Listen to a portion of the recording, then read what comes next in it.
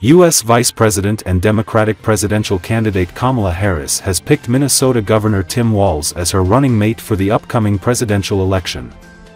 However, Harris has not made an official statement about Walz yet. The duo will appear together in their first joint rally in Philadelphia tonight where Harris will officially introduce Walz as her running mate. Then they will tour key battleground states. Congressman Walz is a former educator and has also served in the Army National Guard. He gained national attention for his strategy of calling Trump and J.D. Vance weird, a phrase Harris has adopted when talking about her rival.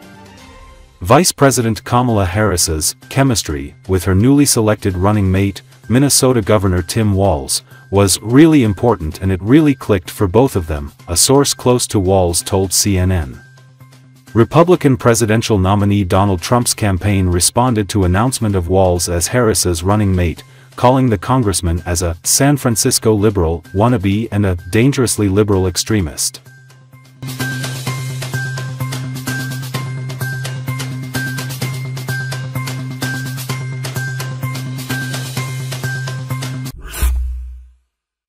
The Institute for the Study of War ISW reports that Russia's readiness to provide weapons to Yemeni Houthis demonstrates Vladimir Putin's desire to pressure the West into abandoning support for Ukraine while also revealing Russia's growing dependence on Iran for high precision weapons and components. According to CNN sources, the Kremlin planned to transfer missiles and other military equipment to Houthis in Yemen, but did not follow through after diplomatic pressure. The ISW states that Russia's reported plan highlights its growing military partnership with Iran and suggests that Russia likely aims to leverage Iranian proxies to indirectly confront the West and shape Western decision making. The analysts note this aligns with Russian information operations aimed at encouraging Western self deterrence from supporting Ukraine over fears of confrontation with Russia. Putin's willingness to consider supporting the Houthis as they attack Israel and international shipping is part of deepening Russian Iranian military cooperation and Russia's increasing reliance on Iran for high precision weapons and components, the ISW reports. Increased Russian willingness to use Iran and its proxies to indirectly confront the West will disrupt Russian attempts to portray Russian foreign policy in the Middle East as balanced and may further complicate Russian relations with countries concerned about Russian Iranian cooperation. According to CNN, citing US officials and other sources, Russia was preparing to deliver missiles and other military equipment to the Houthis in late July 2024. US officials said they were unsure, unsure whether Saudi Arabia's protests were the determining factor in halting the planned transfer.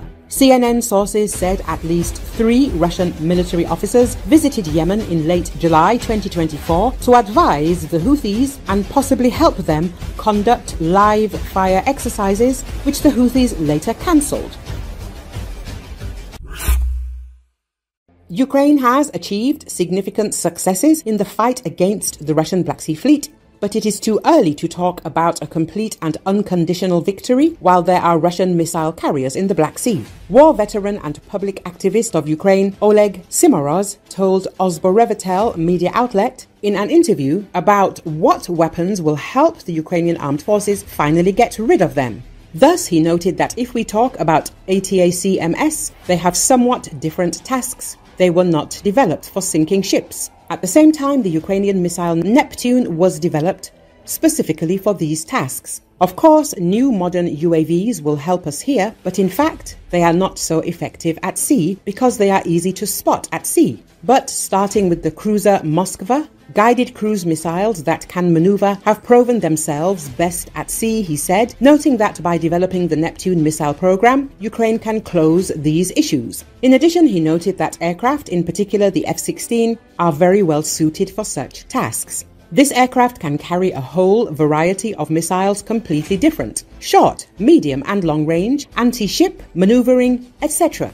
if we successfully use the F 16, go somewhere from the Odessa region to the Black Sea and fire high quality Western guided missiles, and they have modifications of missiles developed specifically against ships, I think we will be able to significantly weaken Russian missile carriers, he said. At the same time, this will not be easy, he noted, since the Russians do not use medium or short range missile carriers and try not to approach Ukrainian territory. He believes that only when there are no Russian missile carrying ships in the Black Sea will it be possible to talk about victory over the Russian Black Sea Fleet. At the same time, Simoroz noted, taking into account Ukraine's capabilities and rather modest anti ship weapons, and considering the type of blow dealt to the Black Sea Fleet, one can truly speak of serious successes in the fight against the Russian fleet. I would call this campaign one of the most successful campaigns of the Ukrainian armed forces during a full scale invasion, he emphasized. Recently, the spokesman for the Ukrainian Navy,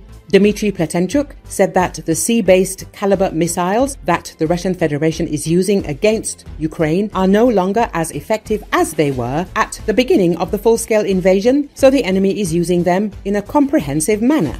Ukrainian special services reported that the upgraded Sea Baby drones can now carry more than 1,000 kilograms of explosives and cover a distance of more than 1,000 kilometers. This means that they can now hit targets anywhere in the Black Sea.